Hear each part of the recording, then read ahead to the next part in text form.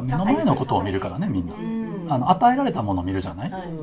で小学校の教室でさ教科書の何ページ開いてっていうさ、それを見るとそれ以外が見えなくなるじゃない、それも合ってるかどうかわからない教科書ねそう。そう。そう。そう。そう。だからあのだから、ね、学校の先生であれ会社の上司であれこれをやりなさいって言われた時にそれを見ちゃダメなのよ。これをやりなさいって言ったら何のためにそれ言ってんのかなっていうところに意識を向けたりだから自分で何を見るかを選ばないと、だそれを深掘りしないと。うん、与えられたものだけになっちゃってこっちが見えてないそうそうそうそうそうそうえその余裕を持って高得点取った人はいいん。だけど、うん。一生懸命高得点取った人の視野が狭いよねあーだから言われたことを一生懸命見た人なの、えー、受験勉強言われたことを理解した上で他のものも見てた人たちはいいのよあそうねすごいねそうなん。ですよ、幅があるよねうん、で言われたこと聞かずに他のこと見てる人もいいのよ確かにだけど